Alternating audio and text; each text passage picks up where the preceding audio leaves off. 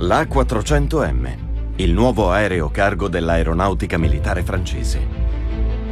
Un mostro di acciaio ed elettronica che supera i limiti dei velivoli da trasporto militari.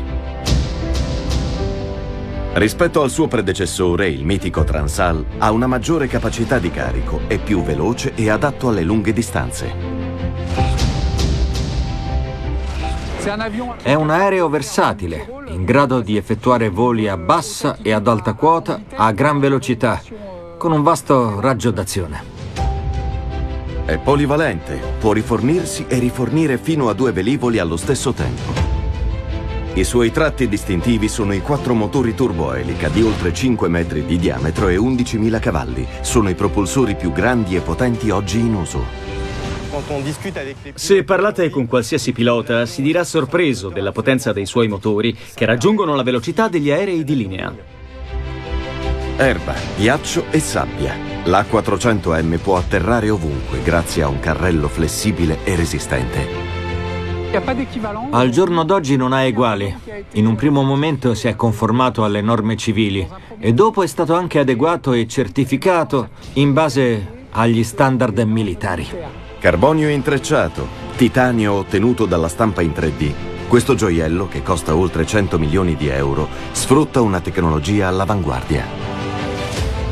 Piloti, ingegneri e meccanici ci faranno scoprire tutti i segreti della costruzione di questa nuova stella dei cieli che affascina le persone comuni e le massime cariche politiche. Questo aereo è la sintesi delle mie letterine a Babbo Natale. Si tratta di un progetto altamente ambizioso. Capace di difendersi dalle minacce e di intervenire in un ambiente ostile, l'A400M ha già dato prova delle sue qualità in Africa e in Medio Oriente. Di recente è stato anche utilizzato nelle Antille per fini umanitari, dopo il passaggio di un terribile uragano.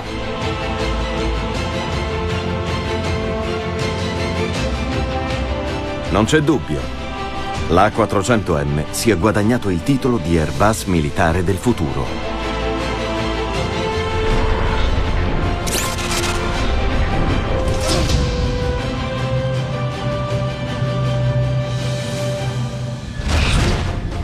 «10 settembre 2017, San Martin, Antille francesi. L'isola è stata devastata da Irma, il peggior uragano nella sua storia, con venti a 300 km orari. La tempesta si è da poco placata, ma il velivolo militare A400M è già sulla pista per i primi soccorsi. La priorità è aiutare i 75.000 abitanti e turisti presenti sull'isola. In molti hanno perso tutto. Fallo scorrere lentamente. Senza esitare, i soldati scaricano gli aiuti dalla stiva. Sta salendo qualcuno? Forza!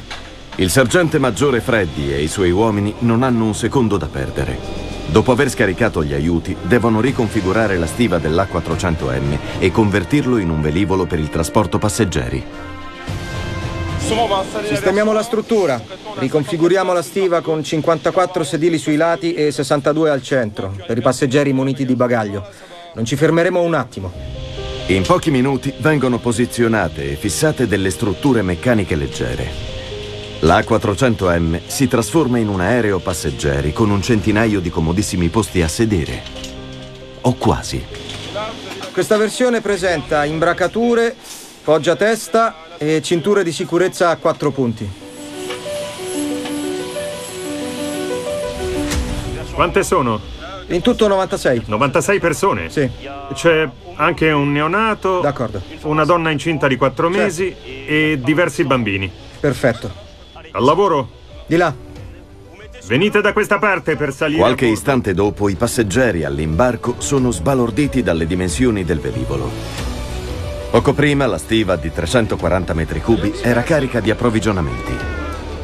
Ora trasporta circa 100 passeggeri, inclusi i bambini e i loro bagagli. Pronti al decollo? Siamo pronti al decollo. Check. Spinto al massimo della velocità, l'A400M decolla.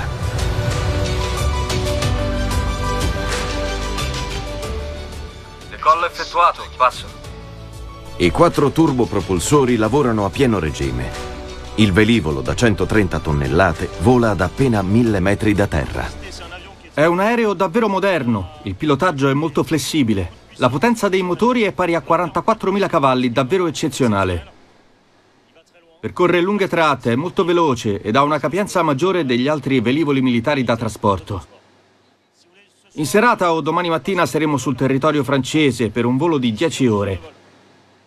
Anche meno rispetto ad un aereo di linea. Dopo 49 minuti di volo esatti, il tenente colonnello Maxim arriva in Martinica. Questa volta, per l'arresto completo dell'A400M, basteranno 800 metri. Una delle peculiarità del velivolo è la possibilità di percorrere piste di decollo e atterraggio di una lunghezza ridotta.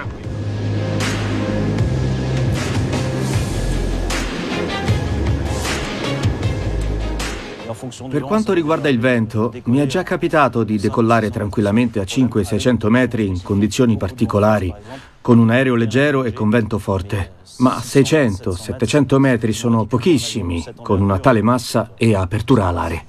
Simili prestazioni sono il frutto di lunghi anni di perfezionamento dell'A400M. L'aereo è il risultato di un impegno ventennale congiunto dell'Europa.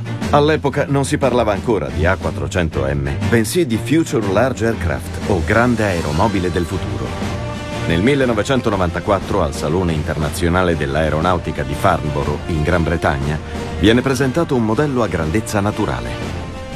Européens L'Europa concordava sul fatto di volere un aereo che fosse ibrido, che avesse alla base delle capacità tecniche, quali volare a bassa quota, atterrare ovunque e permettere il lancio dei paracadutisti, ma che fosse anche un aereo strategico e avesse un raggio d'azione e una velocità paragonabili a quelle di un velivolo militare.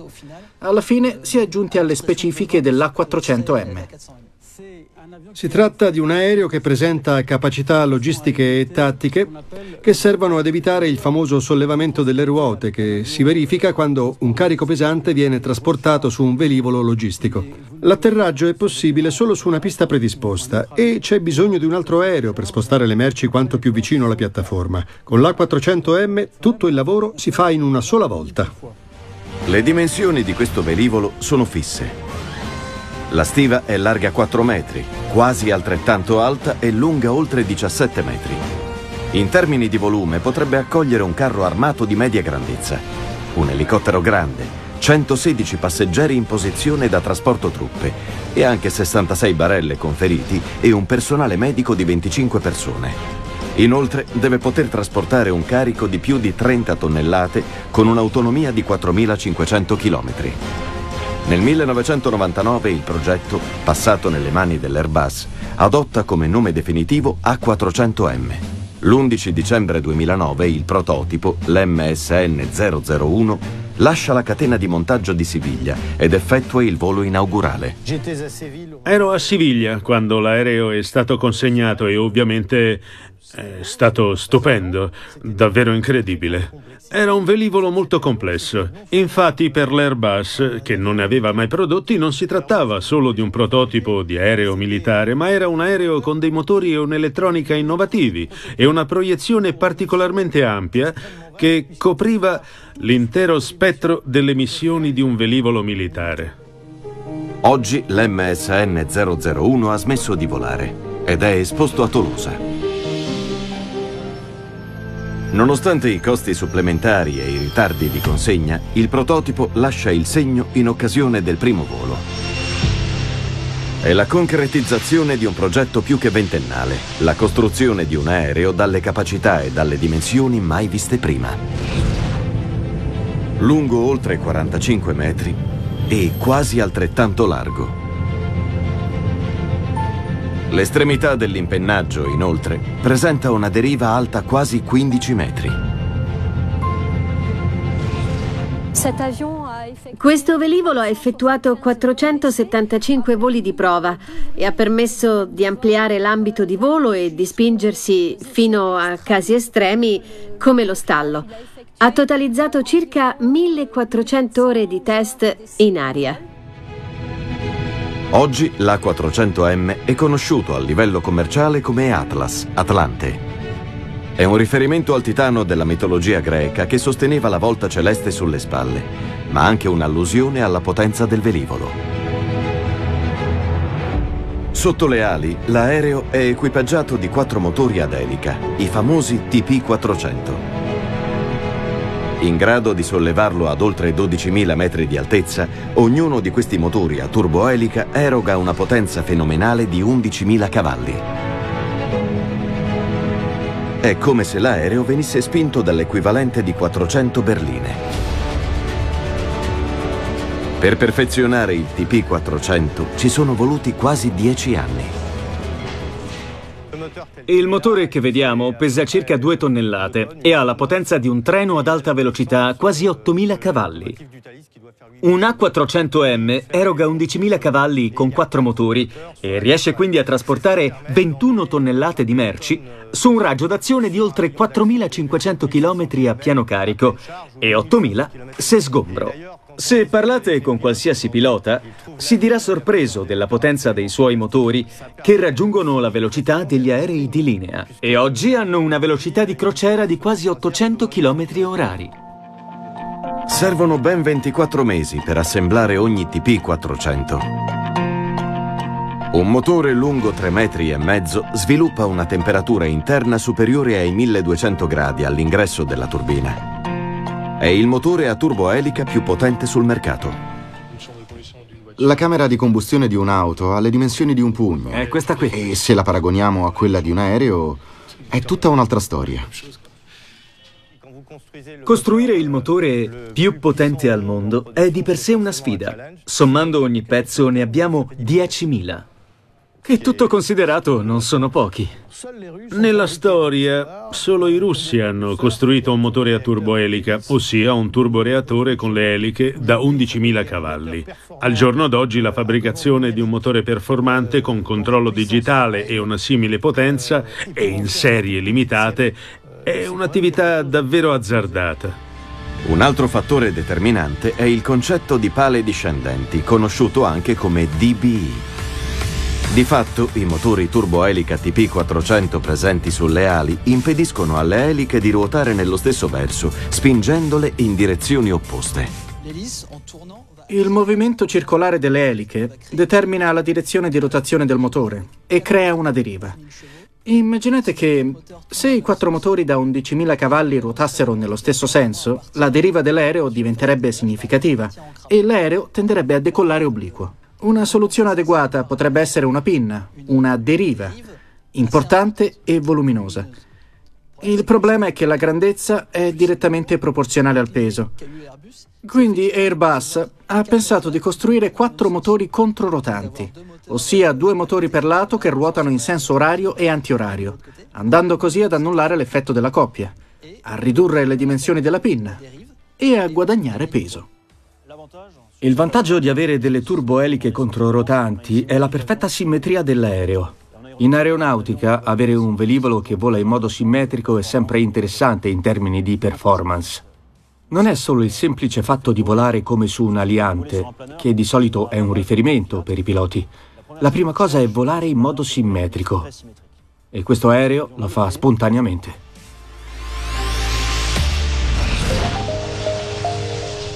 L'A400M è diretto a Siviglia, presso la sede dell'Airbus, dove una cinquantina di questi giganti del cielo è già stata consegnata a Germania, Gran Bretagna, Spagna, Turchia, Malesia e Francia. L'assemblaggio dei velivoli si basa sull'organizzazione pensata per gli aerei di linea dell'Airbus. Questo cargo gigante, il Beluga, trasporta le componenti del velivolo da tutta Europa. I pezzi recapitati pesano diverse tonnellate e raggiungono i 40 metri di lunghezza. La cabina di pilotaggio, il timone e il carrello d'atterraggio sono prodotti in Francia, mentre la fusoliera principale e la deriva in Germania. Le ali invece vengono prodotte per lo più in Gran Bretagna. L'A400M è un'immensa catena di montaggio europea. Nicolas Peugeot è il responsabile della produzione a Siviglia. Da questo lato abbiamo la stazione in cui avviene l'assemblaggio della parte anteriore e della fusoliera posteriore. La giuntura avviene tramite un robot orbitale che vediamo sui nastri. Deve forare e rivettare la fusoliera. In questa fase delicata ha luogo il posizionamento del gigantesco impennaggio che garantisce stabilità in volo. Da solo è lungo 11 metri. Questa è una delle caratteristiche dell'A400M, un velivolo compatto, robusto, detto ad ala alta. Una particolarità di questo programma di assemblaggio in confronto ad altri progetti è che l'ala si trova sopra e non sotto la fusoliera. Rispetto alla maggior parte degli aerei di linea equipaggiati con ali basse come l'A380, questo velivolo presenta delle ali alte. Questa caratteristica ha uno scopo principale, permettere all'aereo di avere dei motori più alti e quindi più distaccati dal suolo. Ciò consente di limitare i danni provocati dalla sabbia o dalle rocce presenti su piste d'atterraggio in terra. Le dimensioni della presa d'aria esaltano un simile vantaggio perché sono inferiori nelle turboeliche dell'A400M rispetto a quelle nei turbogetti. L'aria entra da questa parte, mentre l'elica si trova davanti. La turboelica, infatti, consente l'atterraggio e il decollo su piste ristrette. Ma soprattutto la grandezza della presa d'aria evita l'aspirazione di polvere e sassi durante l'atterraggio su una pista improvvisata in Africa, ad esempio, tanto più che l'elica disperderebbe la sabbia, mentre un turbogetto resterebbe esposto, dato che l'afflusso dell'aria sarebbe maggiore. Per verificare le capacità dell'A400M, l'Airbus ha moltiplicato i test sul campo. Da quattro anni l'aereo, in grado di atterrare su qualsiasi superficie, viene regolarmente testato su diverse tipologie di pista.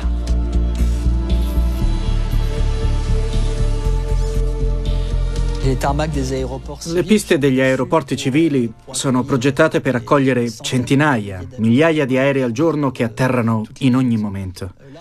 In questo caso pensiamo a piattaforme che non sono mai state pensate per accogliere un velivolo. In alcuni casi è possibile allestire rapidamente delle piste improvvisate in ogni ambiente, grazie alle forze terrestri dell'aeronautica. Ma vi sono anche volte in cui l'aereo è costretto ad atterrare su un'area che non è stata neanche approntata. Quando accade il suolo ha un forte impatto sulla struttura del velivolo e l'A400M deve essere pronto per questo atterraggio. Diverso tempo fa ha avuto luogo una dimostrazione concreta. La Royal Air Force, in collaborazione con Airbus, ha organizzato una campagna di decollo e atterraggio su una spiaggia del Galles.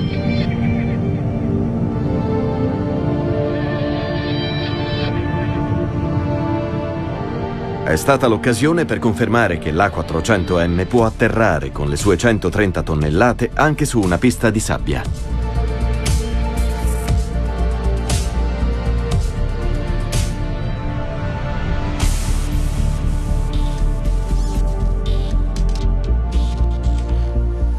Al momento la catena di montaggio dello stabilimento di Siviglia sta incrementando la produzione. Qui vengono costruiti circa 15 A400M per volta. Occorrono sei mesi per terminare l'assemblaggio dell'aereo. Oggi Nicolas Peugeot riceve i primi pezzi dell'MSN 085, l'85esimo velivolo costruito nella struttura. Questo aereo è in fase di preparazione. Qui possiamo notare il carrello d'atterraggio su cui stanno montando i portelli per il carrello, il carrello anteriore. Il carrello d'atterraggio dell'A400M è uno degli elementi più sensibili, perché l'aereo di oltre 100 tonnellate deve poter decollare e atterrare su piste anche approssimative.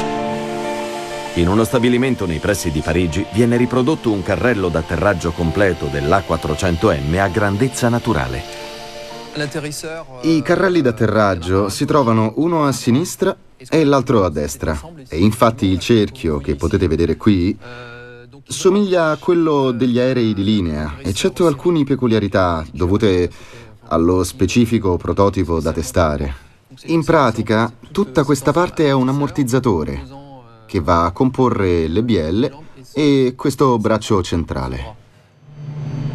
I freni invece si trovano sotto gli pneumatici, in corrispondenza dei cerchioni. Credo che sia proprio la larghezza delle ruote ad occupare l'intero spazio e presenta dei dischi in carbonio di 30-40 cm. La tecnologia al carbonio usata sulle auto in termini di diametro è molto simile a questa, ma con un solo disco. Con un simile carrello d'atterraggio, o meglio, con ogni gamba in grado di muoversi in modo indipendente, l'A400M riesce ad ammortizzare il dislivello delle piste più disomogenee. Può quindi arrestarsi su un terreno irregolare e scosceso.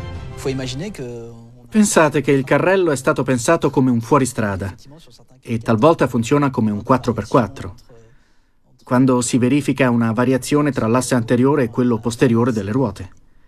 È un aereo per ogni terreno, che infatti riesce ad ammortizzare gli urti e i dislivelli, proprio perché deve poter atterrare su piste che non sono necessariamente del tutto piane. Un altro test sul campo. L'A400M ha dimostrato di essere in grado di atterrare anche sull'erba. Siamo a Écury-sur-Colle, sulla Marna. Atterriamo. Atterriamo. È la prima volta che atterriamo sull'erba. La difficoltà principale per il pilota è proprio l'atterraggio. La zona prestabilita è molto stretta, 100 metri di lunghezza.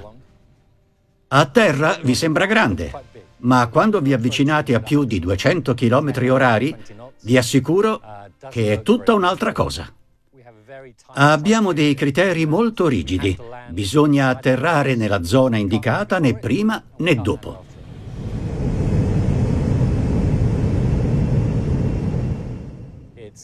È la prima volta che lo facciamo con un aereo tanto pesante. Siamo arrivati a provare con un peso di 114 tonnellate. Ciò significa che i nostri clienti potranno atterrare su questa pista con un velivolo che ha in stiva un carico di 30 tonnellate. E senza difficoltà, anzi, anche con un certo margine, che ci permette di osare un po' di più.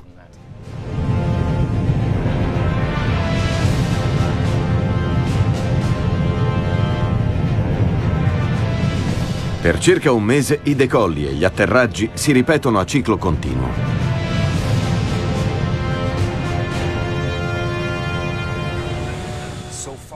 Finora abbiamo effettuato in tutto quattro voli, eseguendo 15 operazioni di decollo e atterraggio.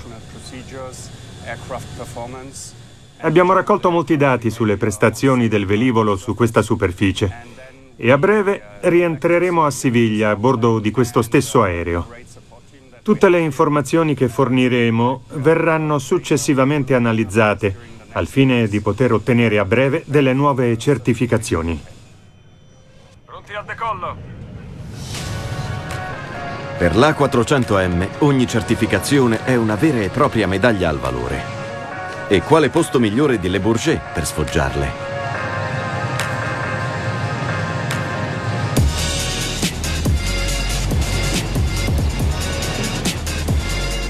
Ogni due anni qui si organizza il più grande raduno aeronautico del mondo. È l'occasione per mostrare ai potenziali acquirenti e al grande pubblico i migliori modelli sul mercato. Come nella precedente edizione, l'A400M ha l'onore di inaugurare l'evento con a bordo un passeggero di tutto riguardo, il Presidente della Repubblica Francese. A un centinaio di metri di distanza, nel padiglione dell'Airbus, viene esposto un altro A400M con un sistema di artiglieria pesante. Per la dimostrazione, con imbarco nella stiva, c'è il sergente maggiore Freddy. Hai controllato i freni laterali e hai chiuso il portellone? Sì. Perfetto. Insieme alla squadra si prepara a dare prova della enorme capacità tecnica del velivolo.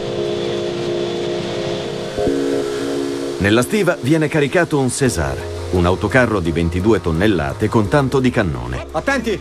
Con i suoi 3,70 metri di altezza, il César Avanti. sembra a malapena entrare nel velivolo, ma in realtà c'è molto più spazio di quanto si pensi. Se vediamo che c'è il rischio che tocchi il telaio, andremo ad abbassare la stiva e la rampa per rendere la pendenza meno ripida. In questo modo il veicolo potrà entrare senza urtare l'interno della fusoliera. Questa funzione presente sull'A400M prende il nome di abbassamento. Grazie a dei martinetti idraulici con una capacità di 30 tonnellate, il dispositivo permette al retro del velivolo di abbassarsi leggermente, facilitando il carico e lo scarico di merci ingombranti. La 400M combina le capacità di trasporto tattiche e strategiche ed è in grado di realizzare i rifornimenti in blu. Nel frattempo, la 400M si esibisce nei cieli di Le Bourget, suscitando una certa ammirazione nel pubblico possibilità di un rifornimento a 3G, ci troviamo... Le esercitazioni dei piloti di trasporto prevedono anche atterraggi con inclinazioni molto ripide. Salgono ad alta quota e riscendono all'improvviso, per restare esposti il meno possibile, e lo stesso vale per il decollo. Si parte dal basso per salire sempre più velocemente. Presenta inoltre la capacità di frenata in discesa che risulta superiore grazie all'elica. Quindi su terreni circondati da montagne si possono verificare dei picchi di discesa più elevati con un'elica che con un turbogetto. Le turboeliche sono il frutto di un lungo lavoro. Vengono progettate a Figeac, nel sud-ovest della Francia, dall'azienda leader nel settore.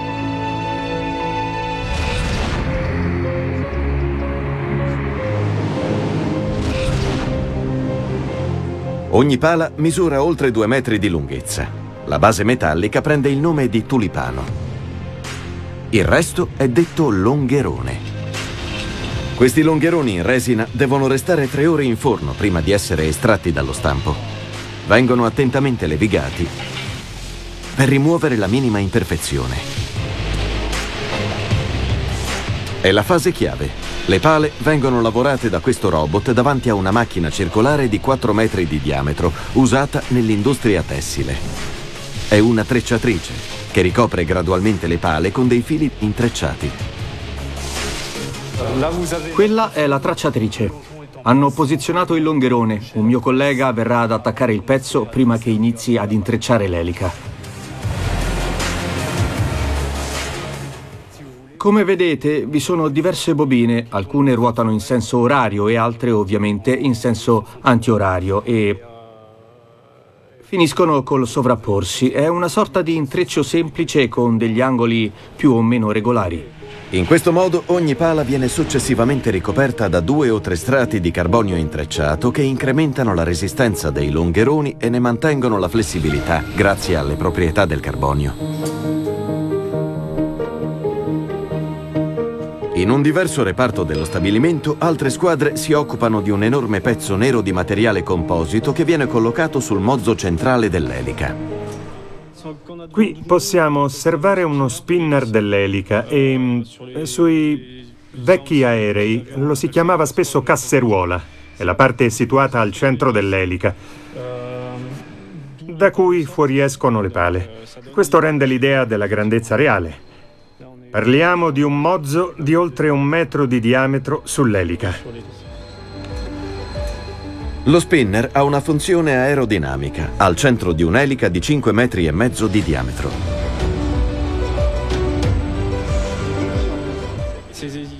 La particolarità di queste eliche è che sono così grandi che in pratica è impossibile caricarle su un camion. Siamo obbligati ad assemblarle davanti all'aereo all'interno del sito di installazione finale. Una volta consegnate separatamente al sito di assemblaggio finale di Siviglia, le eliche vengono montate una ad una accanto all'A400M. Ogni pala pesa circa 60 kg e costa decine di migliaia di euro. Vengono quindi fatte scivolare con attenzione, una dopo l'altra, nel mozzo centrale dell'elica. Vengono inserite con un martinetto a una pressione fenomenale, 160 bar. Quando apriamo il rubinetto di casa abbiamo 3 bar. Ovviamente sono abbastanza pochi. Qui in fabbrica invece sono 160. Questa pressione fortissima è indispensabile per fissare le pale dell'elica. Altrimenti, a causa della resistenza dell'aria, le pale potrebbero lacerarsi in volo. Ancora. Inoltre, rispetto ai modelli precedenti, quest'elica ha un vantaggio non indifferente. Il pregio di quest'elica è che possiamo sostituirla direttamente sul velivolo, dopo che è stata montata sul motore. Possiamo farlo anche nel deserto. Servono degli utensili specifici, ma è comunque possibile. Se pensiamo al nonno dell'A400M, il Transal, dovevi smontare tutta l'elica per sostituire una pala. La riparazione è più facile rispetto a quella delle eliche metalliche di una volta. È molto più semplice aggiungere altro materiale su un'elica in composito che su un'elica tutta di metallo. Quindi, di fatto, abbiamo delle eliche che si possono riparare sul campo. Un altro punto a suo favore. Le eliche possono ruotare molto velocemente, fino a 800 giri al minuto. E in più le pale girano lungo il proprio asse in funzione della potenza desiderata dal pilota. Quando sostituiamo il passo dell'elica, modifichiamo anche il suo profilo e quello del getto dell'aria, andando ad aumentare o diminuire la trazione anteriore. In pratica, giochiamo sul giro del motore e sull'orientamento delle pale per influenzare la velocità e quindi la resa dell'elica. In questo modo a una maggiore rotazione delle pale corrisponde una trazione superiore.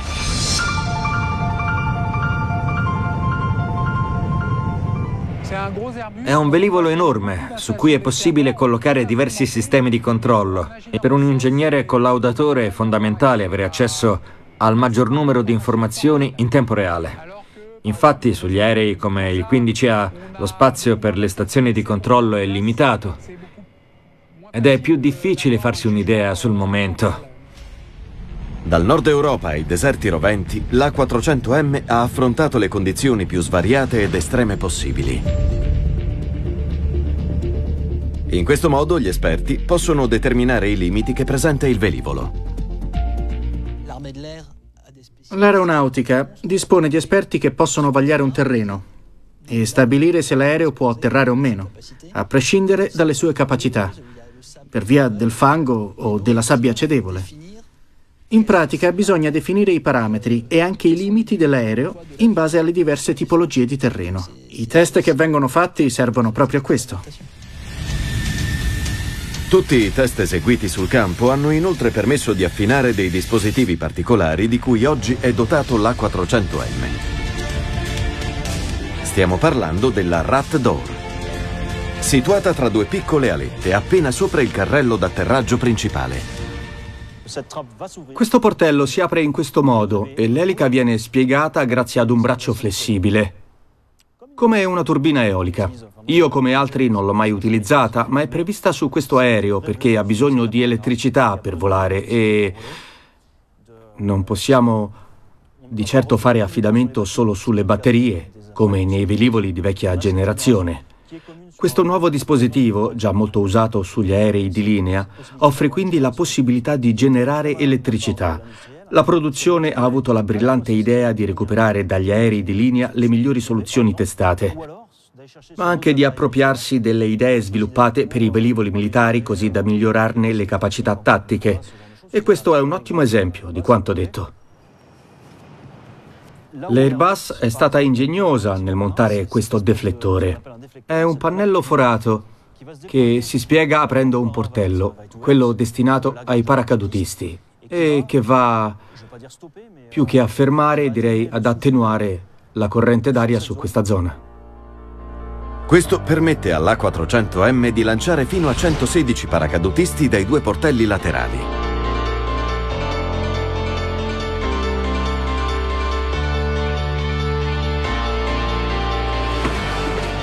Di recente la Airbus ha autorizzato un nuovo dispositivo dell'A400M. Attenti alle vertigini. per vederlo è necessario salire in alto, a 15 metri da terra, nella fabbrica di Siviglia. Sulla punta dell'ala, vedete quella specie di funghi? Fanno parte del rilevatore missilistico. Sono dei radar. È l'autodifesa. Grazie ai radar, l'A400M può individuare qualsiasi missile a diversi chilometri di distanza. Abbiamo molte minacce. Vi sono quelle di natura terroristica, con i missili terra-aria che hanno una gittata ridotta dai 3 ai 5 km al massimo. Poi vi sono le minacce aeree, ovvero quelle portate dai caccia che colpiscono gli aerei da trasporto. E al giorno d'oggi questi ultimi devono essere in grado di proteggersi senza dover essere scortati da un aereo da caccia che possa assicurare la protezione. Per questo ci sono i razzi di segnalazione o flare. Sono contromisure concepite nel sud-ovest della Francia.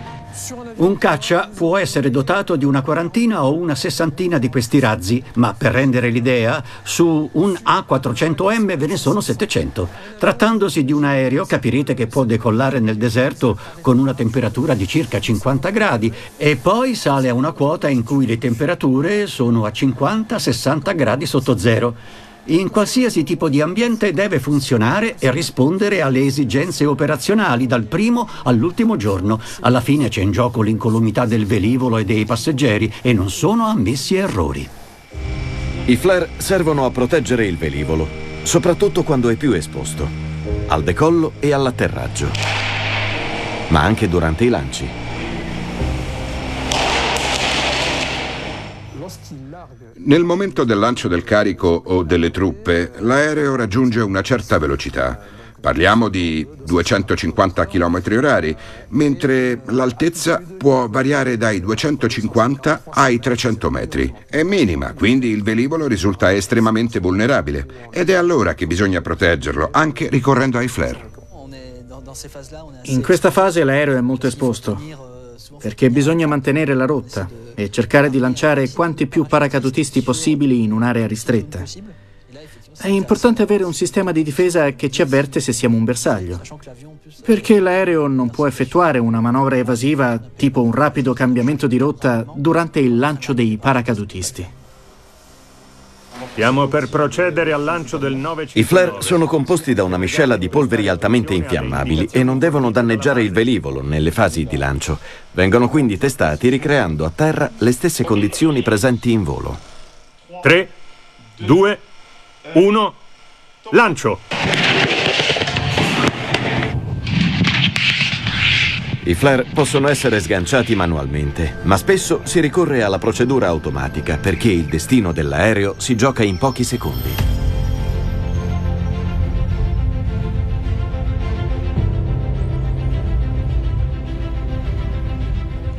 L'80-90% delle minacce oggi proviene dai manpads, simili ai lanciarazzi.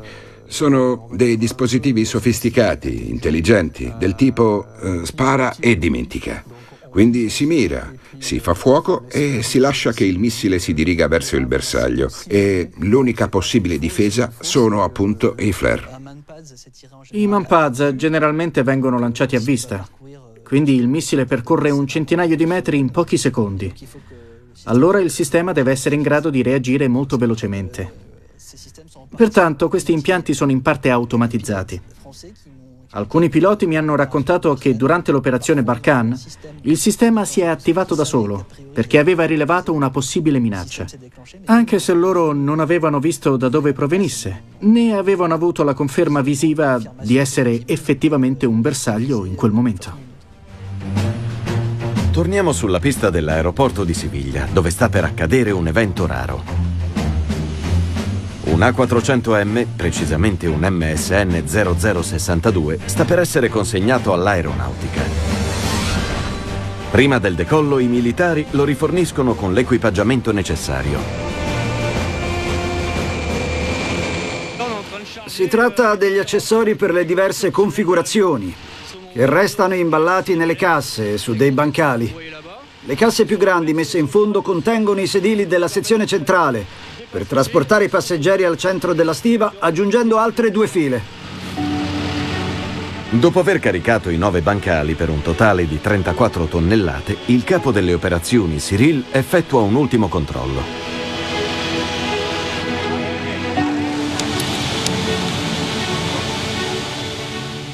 Perché è aperto? È anche l'occasione per verificare le piccole comodità.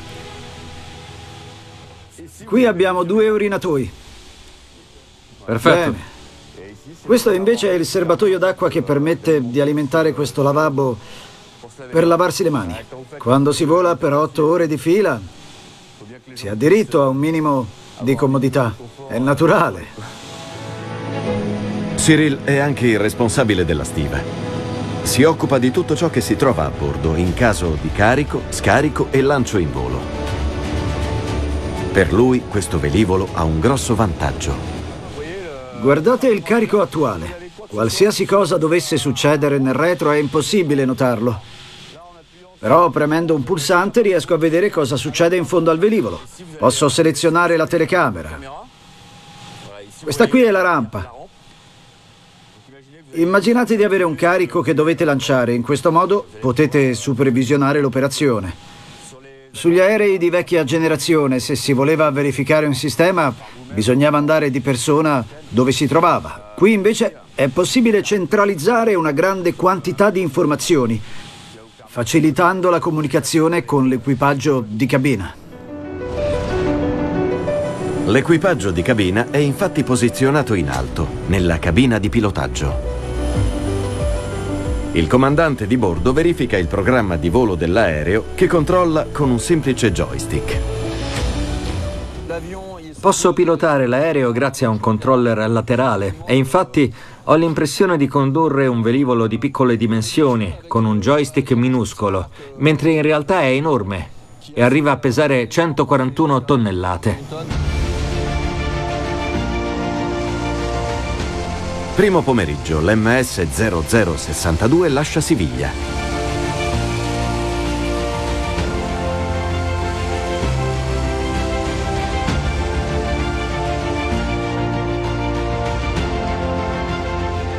Direzione la base aerea 123, vicino ad Orléans, a 1600 km da qui.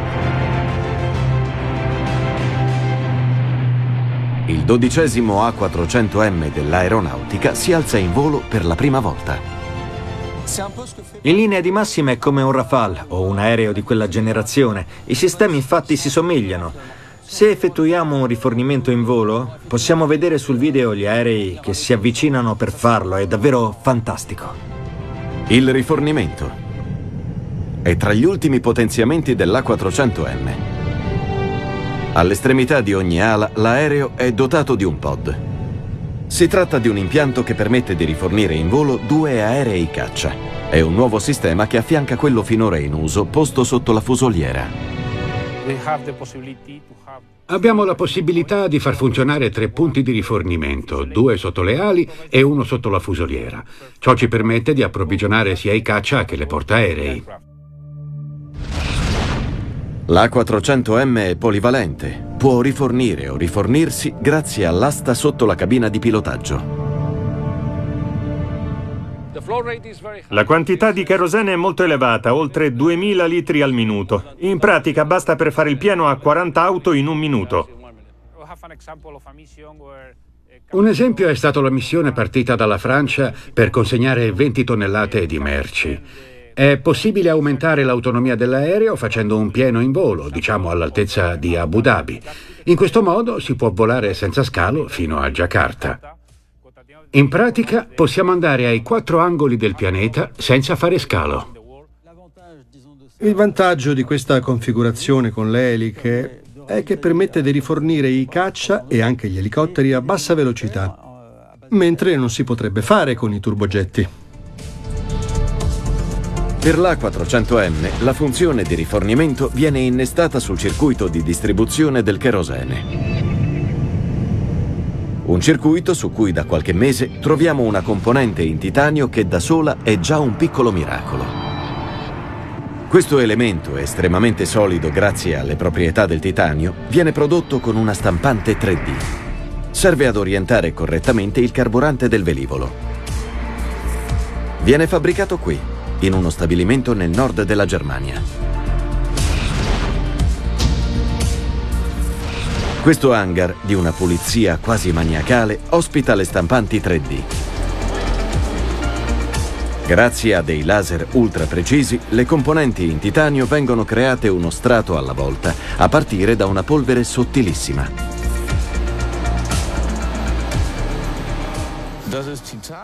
Questa è polvere di titanio. I granelli misurano tra i 20 e i 65 micron. Si tratta di un materiale estremamente fine E bisogna stare attenti perché brucia la pelle. Bastano poche ore per stampare integralmente le componenti in titanio. Dopo anni di ricerca, questo processo tecnologico è stato approvato a livello industriale. Ancora oggi la stampa 3D è difficile da padroneggiare, ma quando succede permette di realizzare dei pezzi sagomati con una precisione mai raggiunta prima.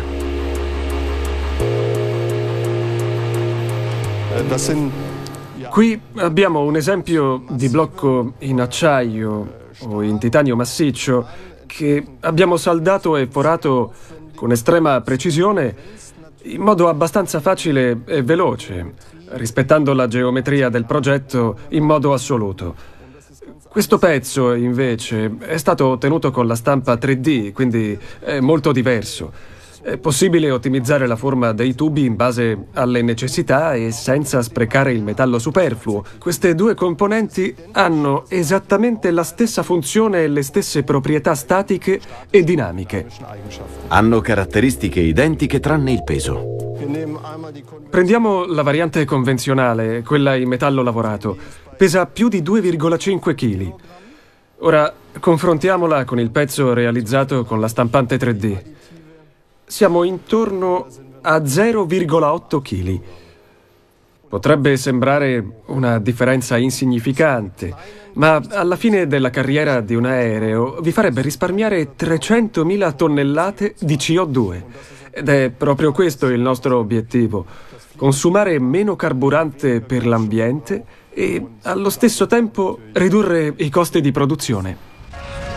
L'A400M è uno dei primi velivoli nel mondo a beneficiare delle componenti ottenute dalla stampa 3D. È una tecnologia promettente che è appena agli inizi.